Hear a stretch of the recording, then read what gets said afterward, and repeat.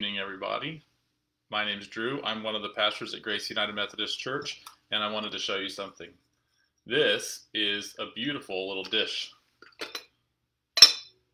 And uh, on it is a, a painting of a church. This is Trinity Episcopal Church in Upperville, Virginia.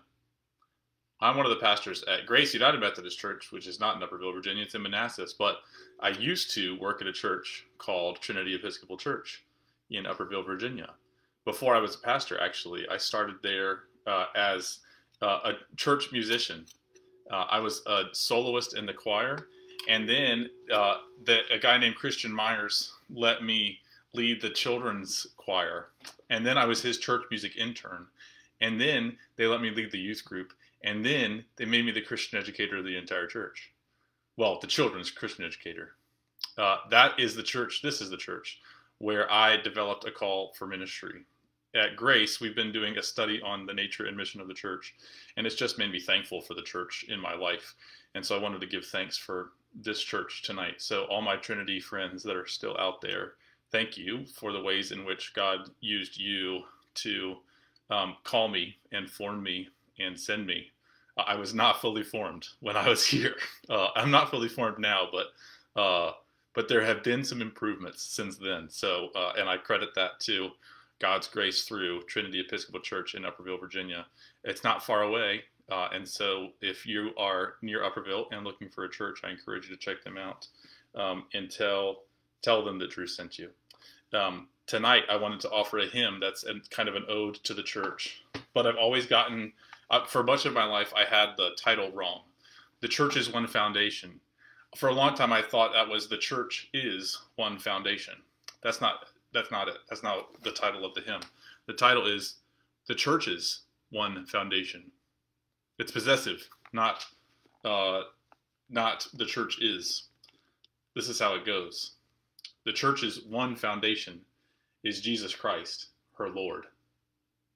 She is his new creation by water and the word. From heaven he came and sought her to be his holy bride. With his own blood he bought her, and for her life he died. Another verse says, Mid toil and tribulation and tumult of her war, she waits the consummation of peace forevermore. Till with the vision glorious her longing eyes are blessed, and the great church victorious shall be the church at rest. Let me share one more verse with you.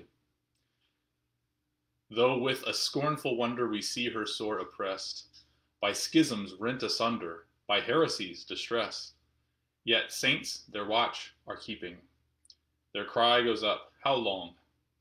And soon the night of weeping shall be the morn of song. I offer that to you, the church who's about to be the church at rest when you go to bed even if you're in the midst of the night of weeping, even as the church is rent asunder and in rough shape throughout the world. Soon the night of weeping shall be the morn of song, and the great church victorious shall be the church at rest. It's a good hymn. It's a good Anglican Episcopal hymn, uh, but we have it in our hymnal too. The last thing I want to leave you with is just a prayer for your night. This comes from the Episcopal Book of Common Prayer, from the service of Compline or night prayer.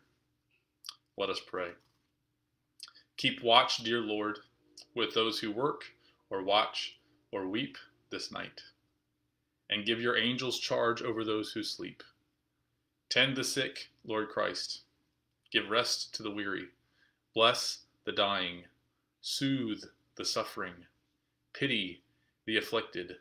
Shield the joyous, and all for your love's sake. Amen.